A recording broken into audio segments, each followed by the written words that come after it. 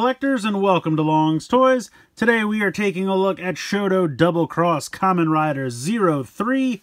As you can see I got a fresh case here so I'm going to go ahead and pop this open and we can take a look at the case assortment here. So you can see in this set we have uh, Kamen Rider OOO Tatoba, get two of them. Uh, Kamen Rider OOO Gatakiriba, we got two Kivas, we got Kiva Emperor form, we got Ixa, Kamen Rider Ghost, Kamen Rider Ghost Boost, and then we have a kind of extra parts box. So I'll take one of these out real quick so we can take a look. So you can see it says Shodo Double Cross over here on the side. Not much going on over here. Got the breakdown over on this side. And then just kind of some pics of the individual here on the back. So not really much going on for the packaging. I guess I'll roll through these pretty quick. Here is Gatakiriba. And these actually can, you can take the parts uh, apart and swap them around to make different forms, which is really cool, just like the Sodo Chronicle for OOO. Then we got Kiva. I love that Kiva is pretty early on in this series. Kiva never gets any love, but he's here. We also get Emperor form. And we get Ixa. And I believe he comes with an additional head for the kind of open visor form. That might be in the additional parts box. Kamen Rider Ghost, talk about another rider that never gets any love. I know the show wasn't that great, but I always loved the suits from this show, so that's really cool. And then we're getting boost form as well. Very cool. And then for the uh, additional parts box, we're getting a ton of accessories here. So we have uh, OOO sword. We have the two kind of mantis pieces for Gatakiriba. We have a whole extra leg for Kiva with the open wings for when he does his rider kick. We have the sword for Emperor form. Uh, we have the sword and gun forms for Ixa. Here's that additional head I was talking about. And then we have Ghost's uh, weapon for both sword and gun mode. And then this is the uh, sunglass slasher, I believe, for the boost form. So a lot of great accessories in here. Very, very cool. Really nice set. I'm really excited for this one. I'm going to go ahead get everything open, and then we'll take a closer look. So here's everyone out of the box and fully assembled. And when I say fully assembled, all you really have to do is pop the heads on and pick what hands you want to plug into the wrists. That's really it. There's no stickers, no big assembly process. That's really it. They're pretty much ready to go right out of the box. We will start here with OOO Tatoba. And this came out really nice. Honestly, the paint applications on the head look great. Really nice and sharp, nice metallic paint there for the red and the green. The emblem here for the chest, I think, came out great. You have these kind of like softer shoulder pads here. Nice paint here on these pieces on the arms. Now, of course, you are going to be missing some paint applications. And they didn't do anything with the driver, basically because you can switch these around. And so they didn't want to lock you into any color scheme. So they left them blank so that way when you're moving them around, they'll technically always be correct because they won't have any wrong colors. I can understand that. Uh, but yeah, they look pretty good. He does have the sword here as well. The sword does come in the extra weapons pack, but you can even see they have the uh, cell medals in there. I think that's pretty cool. Loaded up. So again, this does not have any paint on it whatsoever, but it's got some really nice detail molded in. If you wanted to paint it yourself, you absolutely could. So just all in all, I think he came out really great. We'll go through articulation real quick. So the head's on a ball joint. And this is going to be pretty much the same for everybody. If there's any differences, I'll point them out as we go. But head can look back a little bit, look down a little bit, certainly spin side to side, can tilt side to side. So a pretty nice range of motion there.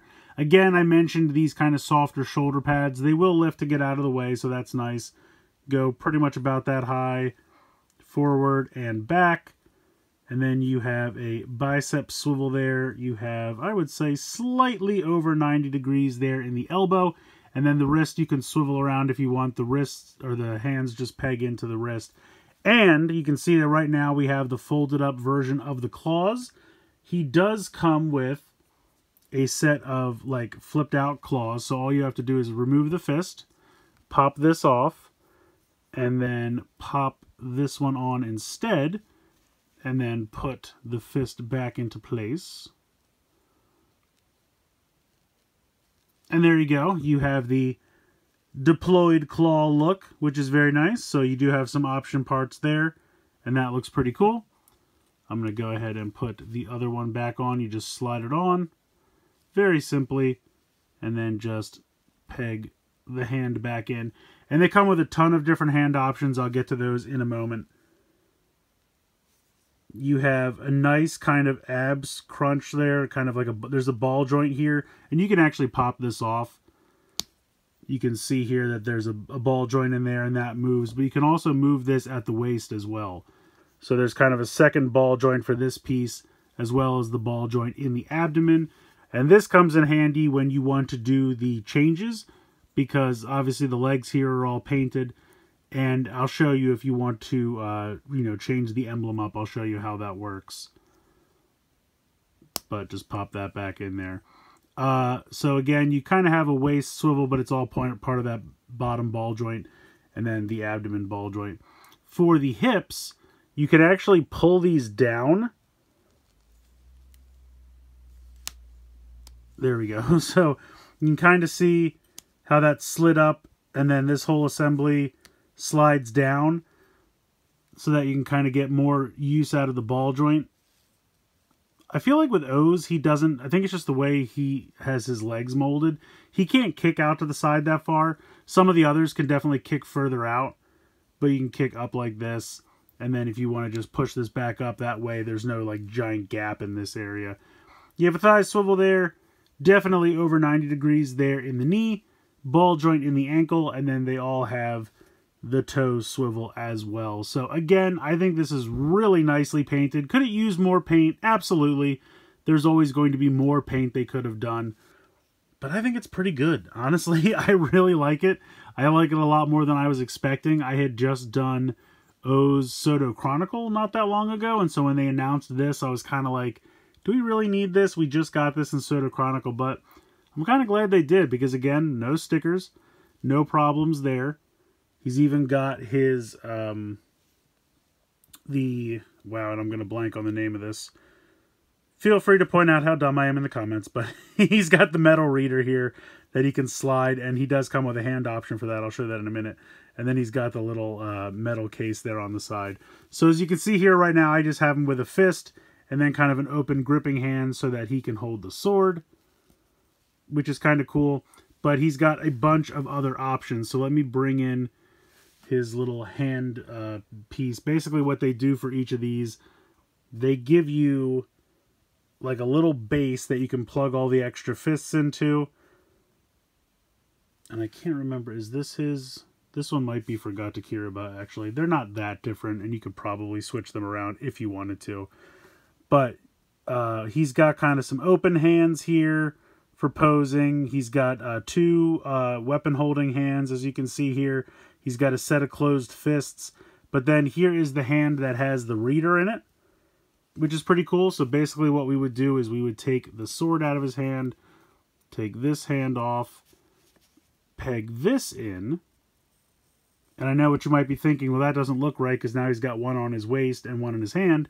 You can just go ahead and unplug the one on his waist and then you can do a pose like he is sliding this down. And I think that's really, really cool. That's such a nice little attention to detail. I really like that quite a bit. Sure, it would be great if there was some paint on these, but again, I get it. And that's just really cool. So you can pretend like he's doing a combo change. He's sliding that down. And I'll show you how the combo changes actually work as well. So let me go ahead and just put these hands back in here. And then I will peg this back on here so I don't lose it. There we go. So it's very simple. Let me show you Gatakiriba first, and then I'll show you how the changes actually work. So let me move all this off to the side. Here is Gatakiriba. Again, looks phenomenal. Really love all of the metallic paint here on the head. That just looks absolutely fantastic. Really nice job with all that. Again, paint on the symbol here. He's going to have all the same articulation. I mean, as you can probably imagine, the lower half of the body is exactly the same for both of these. And then he's got the uh, pieces here kind of stored on the forearms, which is really nice. So if you wanted to switch these, if you're just switching the head, it's very simple. You grab a hold of the head, this pops out. So you can see right here that the you don't have to pop the head off. The head is actually, you know, on the ball joint, and then this piece just pops right out. And then this little piece right here, you can kind of see the seam right here, and then it comes around. You don't grab, because at first I thought I had to grab onto this piece here. It's actually much higher up. It's actually up here. What I like to do, it's a little tricky, and you kind of have to get your nail in there, but kind of, you know, pop this like this, and then you can kind of grab a hold of this. You can see it's starting to loosen up. And this will lift right off, just slides over top of this kind of rectangular post there. So we're going to do the same thing. We're going to grab this one off. We're going to get the nail in here and slide this out like so. And then you just take this, drop it right over top, and then pop this back in boom and then we have that first combo change he does and i think the first episode maybe beginning of the second one where he uses the um kamakiri? Yes kamakiri medal. I'm really blanking on all my terms today. But there you go. So that's very simple to do. We're getting La Torata in the next wave so that's going to give us even more combinations we can do. We can use the cheetah pants. So i think this is really fun. It's very simple and easy to switch. I like it a lot. I feel like it's even easier than the OOO combo change from the Sodo set. And again, no stickers. So fantastic. Now he has these pieces here. You can actually unpeg these, which little hard to do, but you absolutely can do it. Just kind of rock it out there. You can see again, just kind of another rectangular peg. Once that's out, they give you these kind of larger blade pieces that you can pop into the hands and then he can wield those like he does in the show. What I like to do, now the hand will hold them as you see there, but I kind of like to like let it rest in that channel. It just kind of aligns it better and he holds it a little better if you do that. So that's what I like to do. Not necessary 100%, but I feel like he just kind of holds it better. And you do get two of those, of course, so I can go ahead and pop the other one in here. So it's pretty comprehensive. I feel like it gives you a lot of options here. Oh, I forgot to pull this one out. That's why I'm like, where's the channel? It's because you didn't pull that one out yet. There you go. So he's got his two mantis bladed weapons there. That's fun. I like that a lot. I really do. I like that a lot. And I can go ahead and just stand him up. We can go ahead and put this one back over here if we want and plug that right in and then it just kind of looks like he used these three. Now if you have to change the bottom ones, because I didn't point that out yet, if you're going to be doing, like say when La Torata comes out, you want to add the cheetah pants to either of these. What you would do is you would pop this off at that ball joint I showed earlier and then you would lift off both of these pieces. You have to lift off both of these pieces because the bottom piece is attached underneath the middle piece. Not this top part because, again, that's connected to the first piece that we popped off. So you just have to kind of, again, it's a little difficult, but get your nail under here and kind of just wiggle that off or flip it right off. That's fine too. So you can see the two pieces and they are separately done there. So what you would do is you can see there are a couple of peg spots here. So there's this larger peg hole right here, and then there's a peg here. So you can see these two pegs that were, actually you don't actually use that one. These two here go into these, and then what you do is whenever you have the one you want to use, if you're switching it, take this, and this will fit around that. So that goes there like this. And then you can see the other three pegs here. You're just going to line that up. And I have it upside down. Pop that on. And then that will peg in. And so that holds the bottom one in place and the middle one. And then this piece is connected to the collar piece. So it's really nice. It's very comprehensive. It's very simple. Gives you a lot of options. Very easy to do. And as we get more of these forms, we're going to be able to make more and more combos. So I'm really hoping this continues does a really nice job with this. Very easy to switch them around. There's not a ton I can do with just two right now. This is about the most I can do because the pants are exactly the same. So it's kind of just pairing the different heads. But um, yeah, there's going to be more that we can do. And the accessories are great. I love the, you know, weapons here as an option. I love the sword included in the bonus pack, all the different hands. And I love having the hand with the reader so that he can look like he's in the middle of a combo change. So, and this is just OOO. This is the first two boxes, and already I feel like there's so much play value here. They look great. They pose great. You can switch those around. Really, really well done. I'm so happy with these two. But let's get into the Kiva stuff. Alright, so first up, of course, we have the man himself, Kamen Rider Kiva. Again, helmet looks really good. I will say the head feels a little large for the body. Not a huge problem, and maybe that's really just how Kiva is and I'm misremembering it. But the head seems a little large. Not a deal breaker by any means. Just feels big to me, but it is beautifully painted. All of the paint here, you know, this nice silver, the red, this looks amazing. All of his hand options are painted red, so every one of these has been painted red. He's got the like devil horns he's doing there. He's got the grasping hands. He's got closed fists. He's got all those options. There's a ton of stuff going on there. Driver's beautifully painted. He's got the individual pieces here on the side. Again, they're not painted, but whoops, and I just popped them right off of there. You can just go ahead and peg them right on.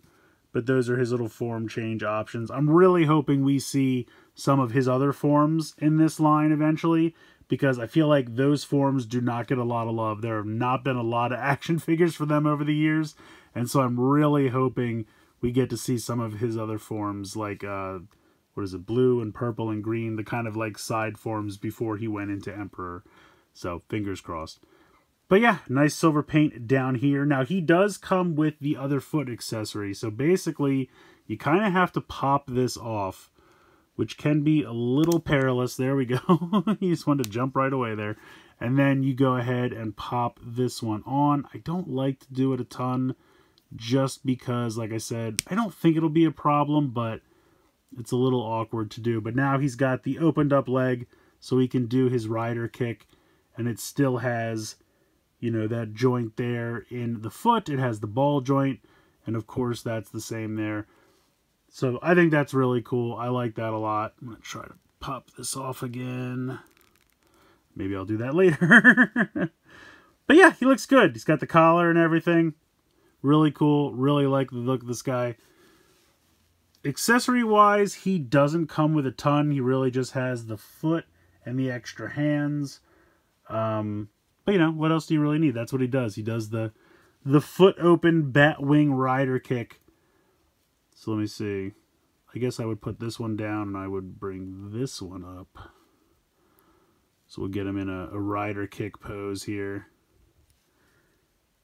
There you go. That's it. That's what you need. And he's even got a little stand here, like a little stand spot on the back there. I don't have any stands handy, but you could definitely have him in a rider kick pose here. Really, really cool. I like that quite a bit. So yeah, I love Kiva. Happy to have him. I'm knocking these bell pieces off left and right, which is not great, but it's funny. I've never had trouble with them before right now. slide his hips back up. They all have that gimmick where you can kind of slide the hips down to get some more movement. But yeah, very, very cool. Don't knock anybody over. Okay, there we go. All right, next up we have Kiva Emperor form this looks really, really good. And I think we all kind of knew this was coming because we got Dark Kiva, or Evil Kiva, I can't remember what that guy's called, in one of the Shodo O sets. So I think we all kind of knew this was coming. But he looks great. Again, really beautiful paint on the helmet there. Really looking sharp. All of this paint, driver, all the gold, the red here on the chest. You got this piece here on the uh, wrist. Again, I'm forgetting, it's been a minute. I'm forgetting the names of these drivers and accessories, but he's got the sword. Unfortunately, this can't uh, slide up and down, but it still looks great. Really looks nice, nicely painted. He's got the cape. The cape doesn't move. The cape is kind of a, not hard plastic. Little rubbery in consistency, but it's just kind of mounted on there, so that doesn't move or anything. But I don't think it's in the way of anything. All the articulation is what you'd want, and the same as the other figures. He looks fantastic. And again, this sword does come in the accessory box, so this does not, if you buy just the box for Kiva Emperor, you will not have the sword unless you buy the other accessory box. But it looks great. Really, really nicely done, nicely painted. And again, he comes with, oh, these are Kiva's fingers. Here, here are the other hand options. And he's got the same kind of, I would say same kind of hands, but all painted in gold to match. So that looks really sharp. I like that quite a bit. Yeah, Kiva Emperor came out great. Really, really looks sharp. And then I'm really excited. I'm a huge fan of Kiva, but I also really, really love Ixa. And they did such a nice job with this. This looks phenomenal. The helmet looks great. Again, nicely painted. He does come with the open visor version. This is in the extra parts box. So again, if you buy just the box with him, you won't get this, but it is in the extra part box, and it looks great. They did a really nice job. All really nicely painted. Really sharp metallic paint there. We have the sword. Again, this is in the, as I knock it over, this is in the extra parts box, as well as the gun version of it. So you do get both of those in the extra parts box. Beautiful metallic red paint there. And again, nicely molded detail. Not painted here on the hilt, but it's all molded in there. He came out great. Same articulation as everybody else. Like I said, some of these can kick a little bit further out. I don't know why OOO has such a trouble kicking out to the side, but the other thing that's really cool, if I take the sword out of his hand for the moment, so we have his driver here, and this is one solid piece, you know, once he pegs it in and connects it to transform, and that's painted gold. But you can take this out, and he does come with separate pieces here. So we have this tiny piece that can peg into his belt. And now I've lost it because it doesn't want to peg in. Let's see. Am I doing it correctly? Yes. Like this. Come on, man. This is like a, a comedy of errors here. Let's go. Get this pegged in here. I think it's playing a prank on me. Okay, this is just... I've I've pegged this in earlier and I had no issues whatsoever. Am I doing it upside down? Is that the issue? I might have been doing it upside down. We'll say that so I don't think it's haunted. Anyway, here we go. we have the piece here. And then the other piece comes in the accessory box so that he can hold it because sometimes he would use this as a weapon. So we can put this in his hand and kind of clip it over the fingers there. And then if you want to kind of simulate, you know, him transforming, it's a little difficult to do, but you can kind of get it in there like he's connecting it in. It's not perfect, but you can kind of mess with it a little better. I just think that's cool. Again, they give you options. I think that's really neat that if you want to just, you know, peg the full piece on there to show that he's transformed, you can absolutely do that. If you want to have him use the one piece in the hand and connect just the other piece, they give you that option. And that's really great attention to detail. I like that quite a bit. Now, again, this piece, the handheld piece, is in the extra parts box. But the smaller piece of the driver that just connects to the body does come with him. So just to clarify that. But he looks great. He came out great. All of his accessories are really nice. I'm really happy with this. This is the first Ixa figure I've ever owned. And I am happy to finally have a representation of that character because I really, really enjoy him. All the different people that wore that suit, uh, I really enjoy from Kiva. And then he's got some extra hand options as well. Not as many to choose from here. He's basically got a closed set of fists, a weapon holding set, and then kind of an open set. So, and again, you have that open visor version as well. So, the O stuff was great. The Kiva stuff was also great, but let's not count out the Ghost stuff just yet. All right, last but certainly not least, we have Kamen Rider Ghost. Now, I know a lot of people don't like this show, but I maintain the suits always looked good. I've said that since day one, and I stand by that. I always really liked these suit designs. I will say, it seems like the eyes are a little too close together here. I feel like there should be a little bit more space in between. Not a huge deal breaker. From the side, it's not really noticeable. But beautiful orange metallic paint there. They have the hoodie here. Now, on the arms, the sleeve piece is, is hard plastic molded onto the arm. Here, it's kind of a softer plastic. You can see the hoodie here. I wish the orange paint continued down along the trim. I feel like that's not a lot. They could have done that. You know, they at least sprung for the silver to kind of go all the way around, which I appreciate. But that would have been a very minor addition that I feel like they could have done. But it's kind of a softer, rubbery plastic, but it's all connected to the top of the torso. So you can still move everything around that joint in the abdomen, which I really like, which is nice. Got the driver here looking pretty good, even without paint. I mean, I guess that is painted. I couldn't decide if it was molded out of this color and then they painted the handle black, but more than likely it's molded out of black and then they painted this. But it came out great. Looks good. All the uh, detailing here on the thighs and the shins and the forearms, I think, all came out great. Really, really nice. I like this a lot. I've never had candy toys for Ghost because they didn't do many back in the day, and what they did, I, I didn't really find anywhere.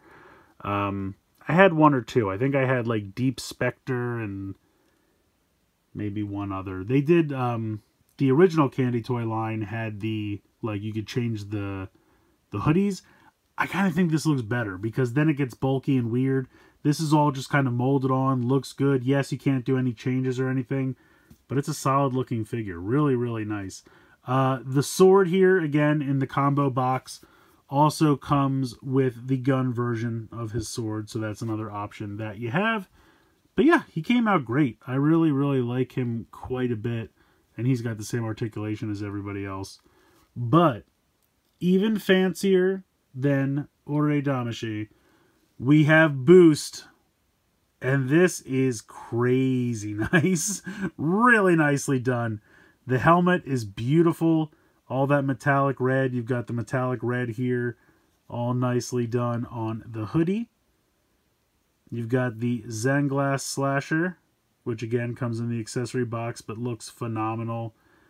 Again, they didn't do the paint all the way around, which is kind of a bummer.